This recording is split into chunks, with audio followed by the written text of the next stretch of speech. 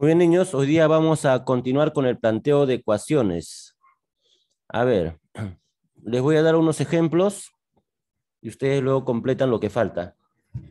A ver, acá dice, el doble de un número aumentado en 24. Ah, bueno, acá dice el doble de un número, ¿no?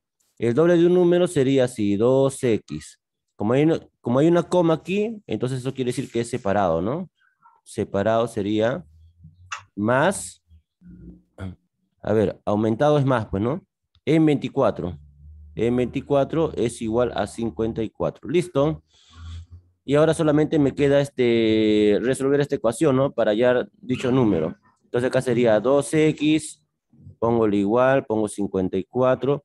Y esto que estaba con más, ¿no? Más 24 pasa haciendo la operación inversa, que sería menos 24. 24. Ajá. Ahora continuamos, acá sería este 2x es igual, restamos por aquí, sería 30 y x es igual a 30 entre 2, ¿no es cierto? x es igual, dividimos, 30 entre 2 sería 15. 15.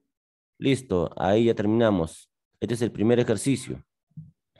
En el siguiente ejercicio, ¿no? Eh, similar, ¿no? El doble de un número aumentado en 36 es igual a 88. Haya dicho número, ya. Similar a la, a la primera. Vamos a, a ver los demás problemas. Ya. Eso también es igual, ¿no? Voy a hacer uno nada más. El de acá, por ejemplo. El quíntuple de un número. Quíntuple 5, pues. El quíntuple de un número, ya, aumentado, aumentado en 24. Es 84. Listo, ahí está la ecuación. Ahora son, solamente resolver nada más. Eh, acá dice el triple de un número. El triple de un número es 3x. Ahora dice disminuido. Cuando dice disminuido es... Menos. Menos, muy bien. Menos 19, ¿no es cierto? Es igual que 53. Muy bien, ahí tienen las ecuaciones. Recuerda si está con menos, pasa haciendo la operación inversa, que sería más 19. Y acá dice más 24, pasa haciendo la operación inversa, que es menos 24. Muy bien, ahí está la guía ya para estos problemas de aquí. Después, esto parece, esto parece igual, ¿no? Pero sin embargo es diferente. Porque en el ejercicio, en los ejercicios de acá, está con la comita, miren. Ahí está la comita, acá está la comita, ¿no? El triple de un número, coma. El quíntuple de un número, coma. Acá también. El doble de un número, coma. El doble de un número, acá, coma, ¿ves? Pero sin embargo aquí, el triple de mi edad aumentada en 19 es igual a 38. Ah, acá ya no hay ninguna comita. Eso quiere decir que este problemita va con paréntesis.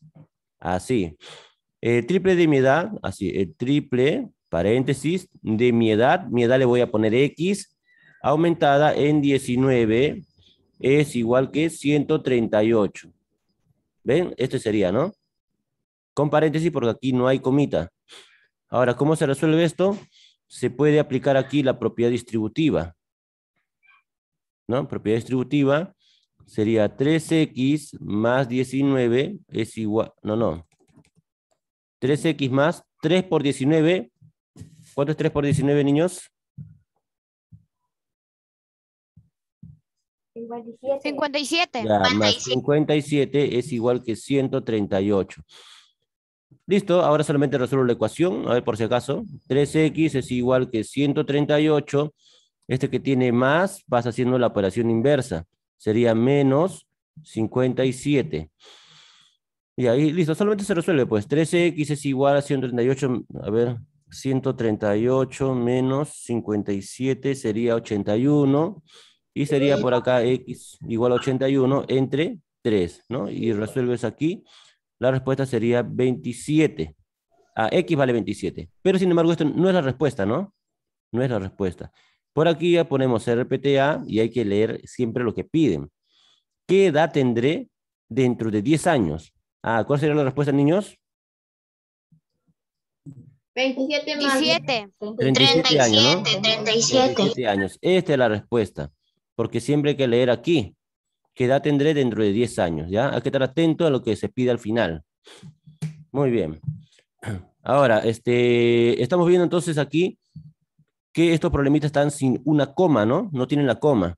entonces se usan los paréntesis. Por ejemplo, acá, el doble de mi propina, el doble, no hay, no hay, no hay este coma, ¿no? Paréntesis.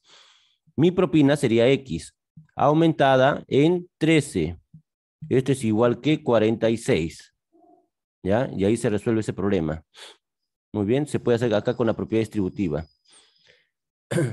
Eh, niños, a ver, un rato, voy a repetir acá algo más. ¿Ya? Eh, cuando habíamos hecho las ecuaciones, yo le di algunas alternativas, ¿no? Voy a volver a hacer este problema, ¿ya? Ya, era así. Era así. Ya. Cuando hicimos las ecuaciones, esto se podía resolver de dos formas. Uno con la propiedad distributiva, así como ya hicimos hace un momento. La otra forma es que este 3 multiplica a todo este bloque, ¿no es cierto? A todo este bloque está multiplicando. Como el 3 está multiplicando a todo, entonces el 3 puede pasar a dividir. Por ejemplo, sería así. X más 19 es igual que 138 entre 3. ¿Ven? El 3 pasa a dividir. Ahora dividimos este 138 entre 3. Me da 46. X más 19 es igual que 46. Ahora 46 le restamos 19, ¿no? Sería X es igual a 46 menos 19 y X sale igual que 27. Eh, ¿Han visto? La X ya me salió 27, ¿no? Y la respuesta, así como hace rato, sería 37, porque dentro de 10 años va a tener 37. Entonces, para resolver este tipo de ecuaciones que tiene paréntesis, se pueden hacer de dos formas. Uno, aplicando la propiedad distributiva, como, ¿no? como hice al inicio, o u otra forma es mandando este 3 a dividir. ¿Ya? Entonces yo me acuerdo que cuando hicimos el, tema de, de ecuaciones, algunos niños preferían mandar a dividir directo, porque les salía más rápido la ecuación, ¿no? O algunos preferían de repente hacer con la propiedad distributiva. Bien, eso era para que recuerden. Entonces, este, igual se plantean esto, ¿ya? Con paréntesis, porque no está la comita de, no está la coma ahí. Continuamos. Bien, acá dice, la suma de dos números consecutivos es 33. A ver, números consecutivos, a ver, números consecutivos son así, x y el siguiente número consecutivo sería x más 1. Estos son dos números consecutivos, x, x más 1. Ahora, haciendo caso a lo que dice acá, dice la suma de dos números consecutivos. Ah, hay que sumar eso. Sería x, le sumamos x más 1, ¿ves? La suma de dos números consecutivos es, x significa igual a 33, 33. Determina el mayor número. Muy bien. Entonces voy a resolver esto. Yo voy a sumar las variables primero. X más X sería 2X más 1 es igual que 33. Ahora sería 2X es igual que 33. Este que dice más 1 pasa con menos 1. 2X es igual, resto sería 32 y X sería igual que 16. Muy bien, X vale 16. Pero recuerden que los números eran X y X más 1. X sería 16.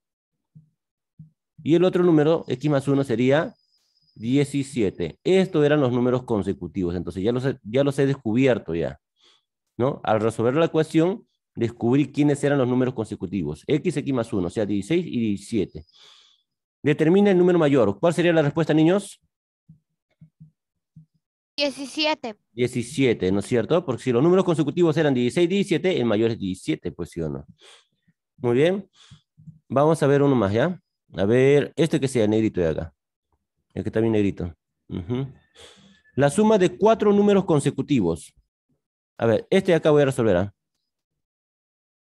Ya, cuatro números consecutivos serían así, pues, x, x más 1, x más 2 y x más 3. Aquí están los cuatro números consecutivos. Ya, vamos a separarlos así para que se vean bien. Ahora, ¿qué hago con estos cuatro números consecutivos? A ver, ah, acá dice la suma de cuatro números. Dice que tengo que sumar. Ah, ya, entonces sería x más x más 1 más x más 2 y más x más 3. He sumado los cuatro números consecutivos y me dice que es igual que 74. Igual que 74. Ahora, sumo las variables, que sería x más x más x más x, sería 4x, ¿no? 4x. Sumo los numeritos, 1 más 2 es 3, 3 más 3 es 6. Es igual que 74. Ya está, ¿ves? Sumé las variables, sumé los números, 6, y bajo el igual y pongo igual a 74. Ahora simplemente tengo que resolver. Sería, a ver, 4x es igual que 74. Este que está más 6 pasa con menos 6. 4x es igual, acá resto, sale 88, eh, 68, ¿no? ¿Ya? 68. 88. 68. 68. Ahora esto divido entre este 4, ¿no? Ya, x es igual a 68 entre 4 y x vale 17. Muy bien, pero esta no es la respuesta, porque siempre hay que ver qué cosa está pidiendo, sí o no. ¿Cuál sería la respuesta? Determine el mayor número.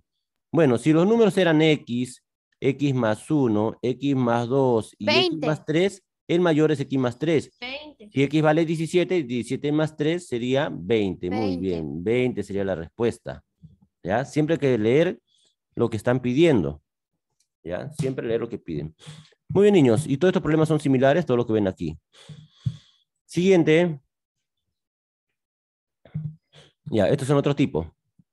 Acá dice, si a un número le sumamos su doble. Bueno, un número, ¿ese número quién será? lo representamos con una variable, ¿sí o no? ¿Ya? Claro, ¿no? Este problema. Muy bien, este, vamos a ponerlo bonito acá. Ese número que sea X, a ver, vamos a poner así, sea el número. Acá inventamos el numerito, es X. ¿Ya? ¿Qué hacemos con ese número? Dice, si a un número, ah, ese número es X, le sumamos, ah, ya, le sumamos, vamos haciendo caso a lo que dice, su doble, Ah, ya, el doble de ese número. El doble de ese número es 2x. Se obtiene 72. Ah, ya, esto es igual que 72. Listo, ya tengo mi ecuación ya. x más 2x sería 3x es igual que 72. Ahora esta x es igual que 72 entre 3. Y x es igual, ahí dividen ustedes, ¿no? Sería 24. Haya dicho número. Ah, ya, el número es este, X, bueno, pues, listo, eso sería todo. ¿Ya? El otro similar, haya un número, ahí pueden decir que el número es X, que aumentado en su doble sea igual a 30. ¿Ven? Parecido. Hay un número que aumentado en su doble sea igual a 45. Ah, si a un número le sumamos su triple, igualito, ¿no? Un número X le suma su triple, o sea, más 3X, eh, se obtiene 92. ¿Ya? Todos son similares. Siguiente. Ah, ya, eso es todo. Muy bien, niños. Ahora ustedes van a trabajar ahora